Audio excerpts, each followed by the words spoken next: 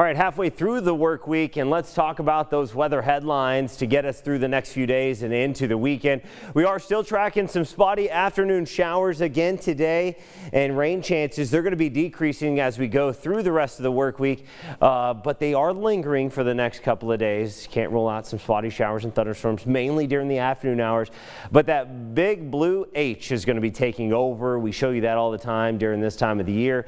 At some point, we get these ridges of high pressure to build in, and that's when we often get those stretches of dry, hot weather. Well, we're at least going to see a stretch of uh, no rain chances, it looks like, and uh, decreasing those while increasing the heat. Yeah, we're going to see those temperatures increasing.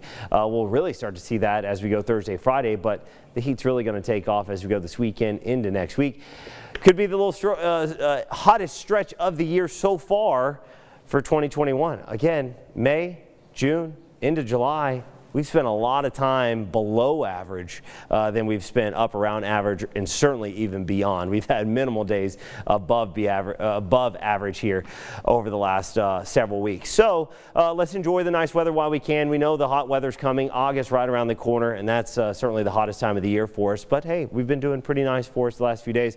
We're going to keep those rain chances around. This is the culprit. We're looking at this weak upper level disturbance, area of lift, and it is uh, passing through actually from northeast uh, to the southwest. Typically, our uh, most of our disturbances are swinging in from the west or the northwest, but with high pressure and control, you can actually see the clockwise motion here across the Four Corners region.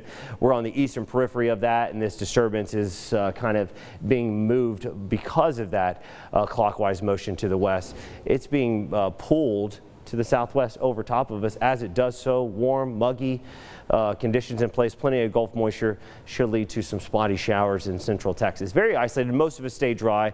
Uh, more of us are going to be dry than those that will see some showers. There we go. As we get into the afternoon hours, boom, they just kind of pop up there with the daytime heating. So mix of sun and clouds today. There you have it. Not everyone's going to see the rain similar to yesterday. The afternoon hours certainly going to be the better chance.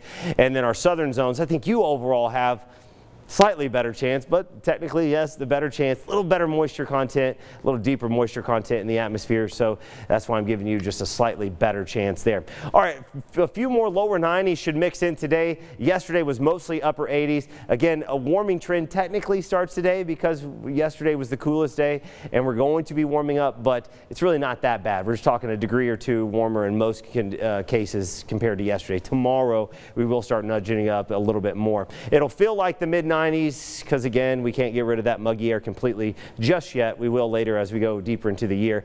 All right temperatures drop back into the 70s another seasonal quiet night as we go into Thursday morning. Again low rain chances next few days. Temperatures start to tick up and take off into the upper 90s and some triple digits will likely likely mix in next week